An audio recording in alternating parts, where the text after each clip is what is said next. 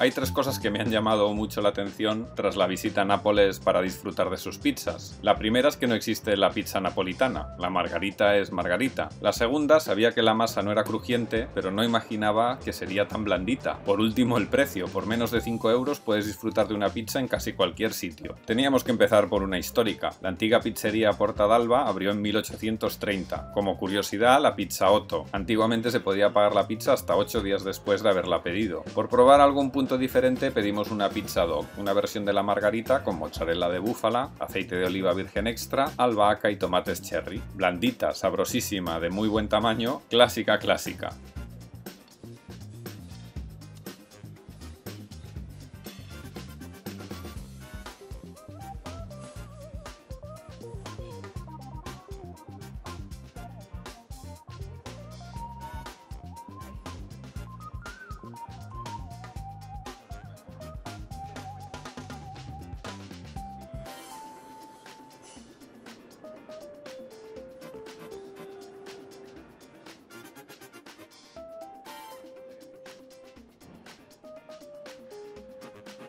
La margarita está a 4.50 y por la DOC pagamos 8.50.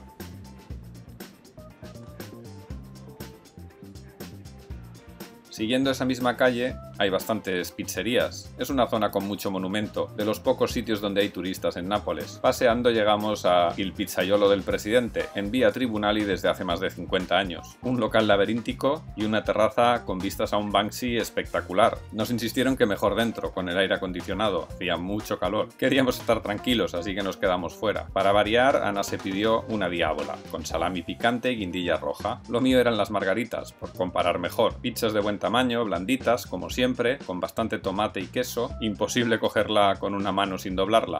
La diábola picante y sabrosa, el salami muy rico, no estaba excesivamente salado.